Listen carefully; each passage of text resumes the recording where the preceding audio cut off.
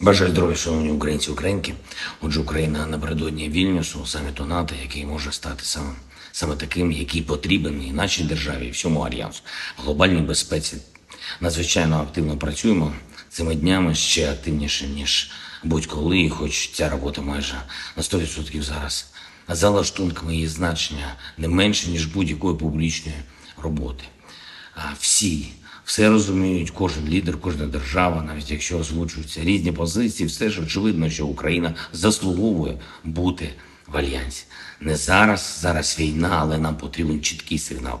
І сигнал потрібен саме зараз. Я вдячний усім лідерам кожній країні, які саме так і говорять, і які ухвалили відповідні спільні декларації та заяви з Україною щодо нашої інтеграції. Більшість альянсу чітко за нас, сміливість українських героїв відтерла від пилу історії всі цінності, заради захисту яких і було створено НАТО. Саме український східний кордон, кордон нашої держави, позиції наших воїнів це та межа, яку більше ніколи не перейти російській диктатурі, що в різних формах, але завжди, завжди намагалась підкорити народи Європи.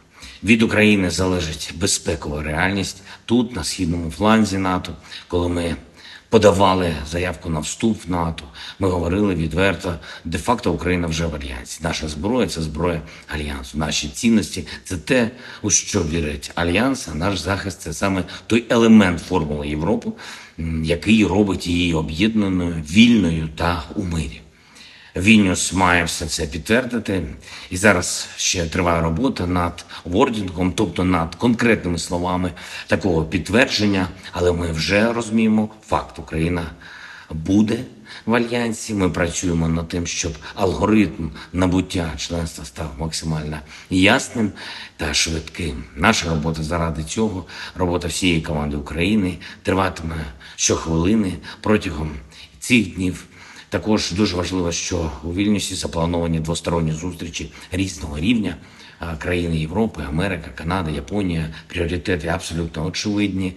Це протиповітряна оборона для наших міст, для всіх громад на всій території країни. Ми працюємо над створенням повноцінного повітряного щита. Це також зброя для фронту. Будуть у Вільнюсі переговори і щодо цього. Звичайно, ми будемо говорити і про інші аспекти захисту життя та нашої спільної безпеки. Я впевнений, що для наших воїнів можуть бути хороші збройні новини з Вільнюсу. Окрема передова завтра у день початку саміту, який тепер немислимий без України, буде вже 503-й день повномасштабної війни.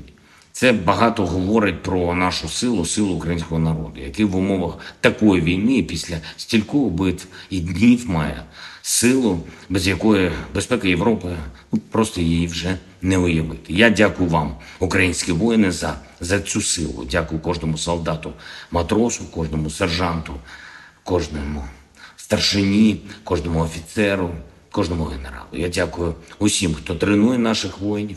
Дякую кожному волонтеру, лікарям, які допомагають після поранень. Дякую усім нашим людям, які працюють заради української сили, української перемоги. Це честь для мене представляти таких людей і таку Україну.